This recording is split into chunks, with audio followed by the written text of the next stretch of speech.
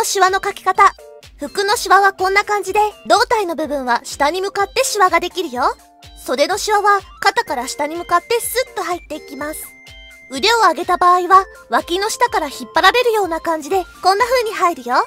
引っ張られるからシワができるんだね。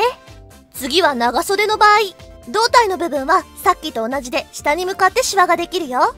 袖の部分は袖とカフスがつながる部分にくしゃっとしたシワができます。腕を曲げると今度は関節の部分の布がたるんで折りたたんだようなくしゃっとしたシワができるよ。で、関節の部分に向かうようにシワが入っていくよ。形を覚えるとシワが描きやすくなるから、ぜひ参考にしてみてね。